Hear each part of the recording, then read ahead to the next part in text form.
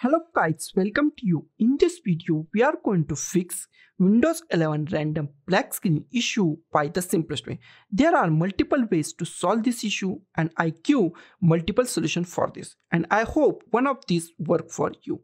First of all, just go to start and just type control panel and click on the control panel. In control panel, just find device manager, just go to the device manager.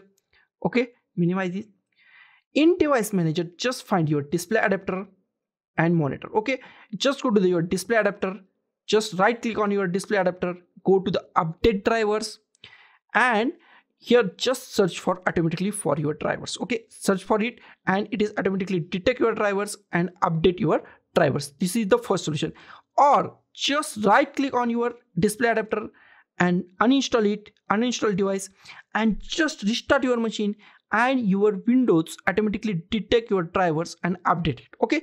And also same thing with the monitor okay? That is the first solution of okay?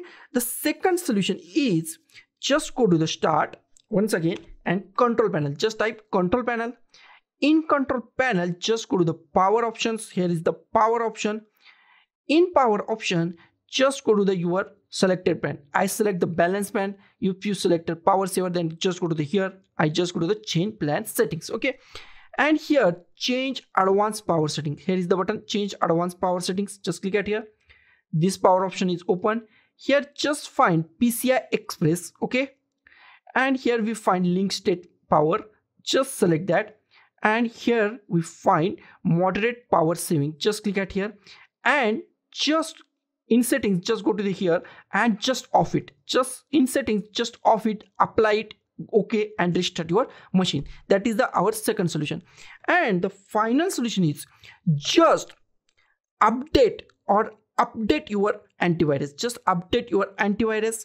And if it not work then disable your antivirus. That is the our third solution by this simplest multiple solution, you can easily stop black screen issue on your PC. So guys, thank you for watching this video. Don't forget to like, share, comment on this video and don't forget to subscribe the channel. Thank you guys.